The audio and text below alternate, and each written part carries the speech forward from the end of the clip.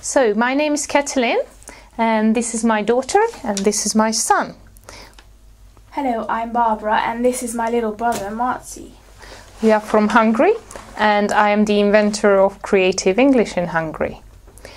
So, we are here on behalf of Expert Village, and today we are going to show you a few tricks uh, about painting that you can actually do at home. If you have more obvious pictures like this one, where you have a rainbow and underneath the rainbow you have a treasure box. But the way how you can get to this treasure box is very, very unusual, and you can see how children can use their imagination because you need to slide down this rainbow to reach the treasure box.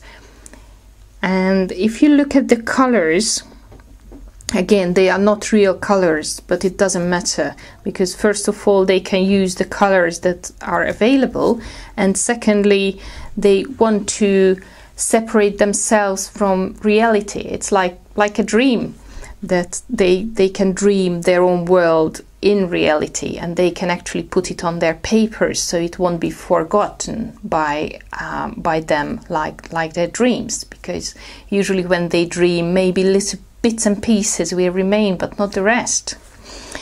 And again using the techniques um, like like pressing on the leaves or or pointing the leaves can um, can actually make them feel the texture and and the, the, the materials in a different way. So after a certain time, they just look at the tree and they will see other things in the tree.